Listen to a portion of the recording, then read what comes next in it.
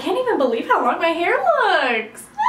Hello everyone, it's Karlee and welcome back to my channel. Today I thought I would do a video that I've never done um, and that is talking you guys through like skincare beauty items that you just like do not need. Like do not buy these, they're so horrible. I shouldn't say so horrible, but they just didn't work for me and if you have like similar skin type to me or some of these products are even like really hyped up so if you don't want to waste your money on those hyped up trendy products then watch this video so you can save some money and save yourself some like reactions and just crazy stuff because it all went down when I tried out these products. If you guys are new, don't forget to pause the video and subscribe if you aren't. We are so close working towards a thousand subscribers and I would really appreciate your support. And if you enjoy the video, give it a thumbs up and let's hop right in. So as I mentioned, these are products that I just do not like. Um, and yeah, nothing like against them. They just didn't work for me. They didn't work for my skin or it was just like didn't work at all. Um, and so I thought that this would be interesting because I really love watching these videos. And I do something similar with my empties videos twice a year. I will link those above for you if you want to check them out. Um, but I don't really go it's not like specifically that I wouldn't repurchase um, but these are just like I couldn't even finish them. They're not empty. And I like to use up all of my products. Um, so that's why I thought I would share them with you today. Maybe I'll just dive in. As I mentioned they are mostly skincare things, but I thought that I would just jump into the body first. And this is the Schmidt's Coconut Pineapple Sensitive Skin Formula Natural Deodorant. And this was absolutely horrifying. This was a new scent that I've never seen before and I've tried Schmidt's, that's like a hard word for me, I tried Schmidt's once before um, because I do love to find like natural clean deodorants but this one has always without fail made me like break out kind of like irritates my underarms which is not fun and you don't know like how long or how much you move this area until it's like sore and red and not feeling great.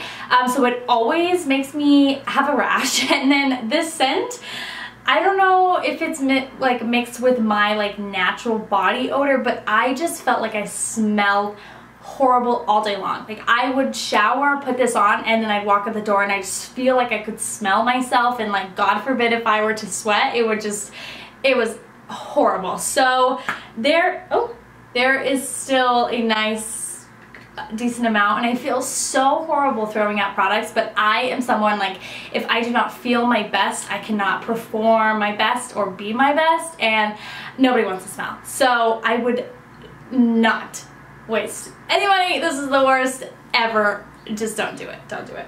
Oh, Sebastian? Is that you? Oh, maybe not. Um, so sticking with some body, this is like a hair care product and then the rest will be skincare, um, which is so sad that I have this in my dislikes because I love this brand. This is the Love Beauty and Planet Mimosa and Macadamia Nuts. Uh, what is this? Like a hair oil? Just like a hair oil. And this is horrible. As you can see, it's still so brand new and full. Um, it's like really dirty because I kept it in the back of my like cabinet. Oh my god, you're actually scaring me so bad. Hi, baby. Hi, baby. I knew I felt your pee pee. This is really dirty and dusty. I kept it in the back of my cabinets just in case. Um, I love to use a hair oil. I use it every time like I style my hair. It just gives my hair a lot more moisture to the ends. Um, and so I'm always looking for new ones and I love experimenting with them and this one I thought I was gonna love because again I love this brand but it's so bad it makes your hair feel so greasy and just like very heavy and not I don't know, not silky, not smooth, not hydrated, nothing like just that greasy look and it just stays that way. It doesn't kind of dry out. Um, it's just very difficult to work with. So I found it horrible. Um, it smells amazing and I loved the smell, but it, just the formulation is not my favorite. Uh, so I would definitely give this one a huge thumbs down not having it. Moving into skincare now, because um, I have a lot of skincare, just because like everybody else, it's fun to try new products and what everyone's loving and you want to get on that and see if it works for you. I have the original um, scent of this toner, um, this Witch Hazel toner.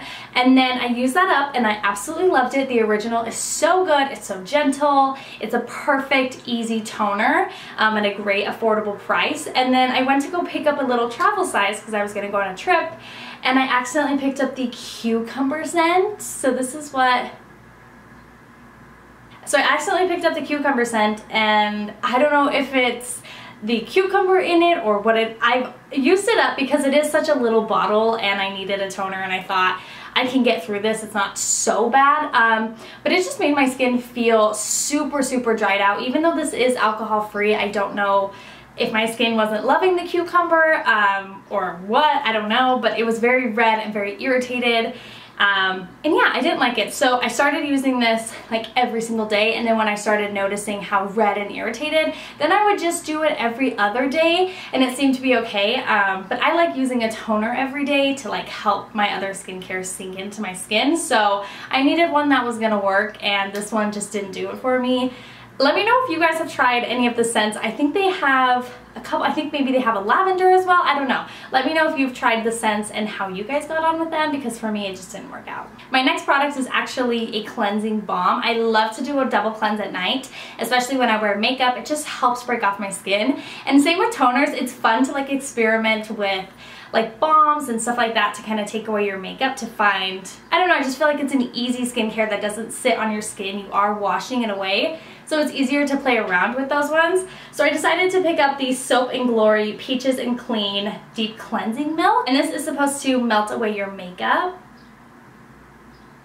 And I, as you guys can see, I've used it like pretty much half of it and I can't decide how I feel about it. I don't feel that it really like melts away my makeup. I feel like it helps take it off, which is why I continue to kind of go back to it every once in a while. If I'm ever out of like my favorite first cleanse, if that's completely out and I haven't repurchased anything, I will go back to this because it doesn't irritate my skin. It doesn't break me out. It doesn't do anything like that um, but it just doesn't work and I just don't really like that. So I don't think this is worth it at all. Um, there are so many great ones on the market. You could use a micellar water, you could use the Clinique Balm, um, you could use lots of different ones. There's so many out there, um, but this one's just not worth it and I would definitely skip out on it but I still have it for like emergencies, which I think is something that's important to have in your skincare collection. Like if something isn't like horribly bad for your skin, you can always just leave it kind of below your counter just in case those emergencies come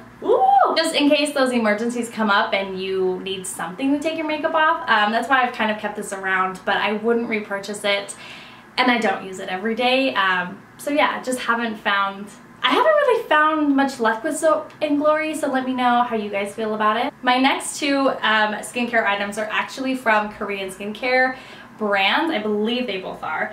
Um, and that's like my new favorite thing is to dip into Korean skincare. I love it. I love watching the videos about it.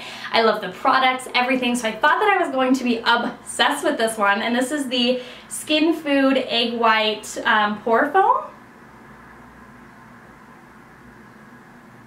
And this is just supposed to be a deep cleanser, um, foaming cleanser to purify your pores. I know Korean skincare, um, they're big on foam cleansers, which normally don't really irritate me too much because I'm pretty oily, so I don't really get dried out. But that being said, this stripped my skin horribly. Um, it's very foamy and that's kind of like a fun sensation to have every once in a while. Um, but using this like every single day, I like I was just stripping my skin and I was starting to break out and getting dry. It was just it was not great. Um, so I had to say no to this. Not worth it. It just strips my skin and it's, I don't like it. So not my favorite, but I know that they have some other great products that I want to try. I just have to stay away from the foam. And then I believe this is a Korean skincare brand as well, but if not, let me know. And this is the Too Cool for School Pumpkin Sleeping Pack. This is like a sleeping mask. Um, so this has like an enzyme peeling pumpkiny effect um, which I thought I was gonna love. I don't know, I saw everyone using these sheet masks. I don't know if maybe those are different. This was just not great. I felt like when I'd wake up in the morning, my skin was like super red, even though I know that it is like an enzyme peeling mask, but I don't think it's like a high concentrate of that. Um, and it's a sleeping mask so it's very gentle you can have it on for a long time um, you do have to be careful with those enzymes but I knew that this one obviously is a sleeping one so I wasn't too worried about it but I wake up in the morning and just have such a red face that I never wanted to put this mask on again I like my masks to be very calming and soothing. I sometimes will do a clarifying one. Um, this is obviously clarifying because it is a peeling mask, but yeah, it just wasn't my favorite and it made my skin a little red and irritated. So I stopped using it, which is a bummer because I really liked the packaging and I saw everyone using the sheet masks, so I thought I was gonna love it, but I definitely didn't and would not repurchase. Keeping with the um, masks theme, this is the Freeman Purifying Avocado and Oatmeal Clay Mask. And I don't know about you guys, but I see these all over Instagram. They'll do like the cute pictures where they're all the colors. And so I really wanted to pick one up and I don't know if I just didn't do pick up the great one, um, but this purifying mask, not great. It makes, it's like a tightening mask, which those ones I should have known are not my favorite. Clay masks are just not for me. I don't like my face to be tightened and like feel like it's stretching. I want a very cooling, hydrating effect. Um, so I should have known from the formulation that I wasn't gonna love it, but, and yeah, I just didn't feel like it was clearing out my skin. I used it probably six, maybe seven times, and I just never saw a difference in my skin and so yeah I just didn't find that they were worth it. They are fun. I see them all over Pinterest and I want to like collect them all but definitely not worth the money so I wouldn't do it. And then for my last products I thought it would be fun to include some stuff that I've gotten for Sebastian because I do love to buy him products and I want him to feel pampered and you know all the things. And I also like to find him very clean ingredients because that's like my baby's skin. And I I don't know it's very fun to like play around with his skincare as well. And so I got these for him in his stocking for Christmas and they have just been the biggest flump. I don't know if he just like forgets to use them, but I've also just known that he doesn't like the way that they feel and work. So they're both by the brand um, Bulldog and it is a skincare for men and it's natural.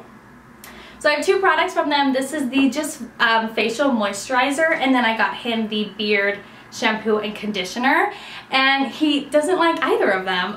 Um, I just think that he doesn't like the way that they smell. They do have a very yeah, they do have a very interesting smell where it's, when it's something on your face, if it's very fragrant, that's hard to stand. Um, so I totally get that. So yeah, he wasn't a fan of these. So if you like buying products for your man or if you're a man watching this, um, I would stay away from this. He just hasn't used it and I think it's just goes to show. I don't think it's because he doesn't, he's like lazy and forgets. I just don't think it's great products. Um, they weren't super expensive, uh, so that was a plus. But yeah, just kind of nice to know what to stay away with. I would love to know what you guys like to buy for your men because uh, it's fun. I like buying things for him and I want him to build up a little skincare routine himself. So thought I would share those. Okay, so those are the nine skincare and beauty products that I think that you guys definitely do not need to spend your money on. They personally didn't work for me. Maybe they'd work for you. If you've tried any of these and you love them, let me know down below because that will make me feel bad that I don't love them and it'll make me want to try it. I just love to hear everyone else's opinions about these, so let me know your thoughts down below. Don't forget to give the video a huge thumbs up if you enjoyed, and I will see you in my next one. Bye!